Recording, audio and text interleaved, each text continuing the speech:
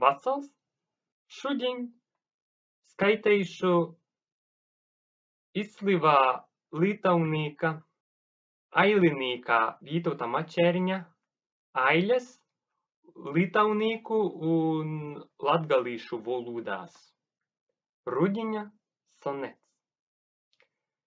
Īmu, bet nazinu, iz kur nu īšu. Izdzīvoju bez jēgas, vaļīgai, garšudam savu dzīvošanu kai augli, i nazdams jū, kai nostu iz placa i vēl. Vaicoju bazneic kungu, tai poši filosofu, atsacīja visu gaļīgi sklostēja jī. A man sirds i šudiņ taišni sop, dēļ ko pasauls i cilvēks, ītis vis.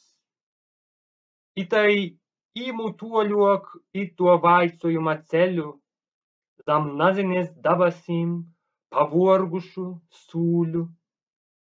Bet ja tik rūnu ceļā krūgu aizmirstības, dreiž ļusteiks dīnu naktī uļavoju, līdz kolpi atbodējības nūpitņeli tymsi, izsvīš orā iz ceļiem, vaicojumā vēl nu jauna.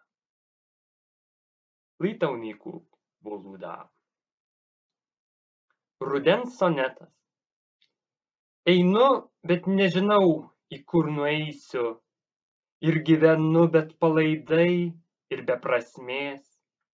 Ragaudamas gyvenimą kaip vaisių. Ir vėl jį neždamas kaip naštą ant peties. Aš klausiau kunigų ir filosofų, atsakė jie išdėstė viską įsamei. Bet man širdis ir šiandien lygiai sopa, kodėl pasaulis ir žmogus ir visa tai. Ir taip einu tolyn šio klausimo keliu, po nežinios dangum pavargusiu žingsniu. Bet jei randu užsimiršimo smuklę pakely, tai linksmas per dienas naktis puotauju, kol nuobodžio tarnai rimtuoliai rūškani vėl išmeta į klausimo kelius iš naujo. Paldys. Ačiū.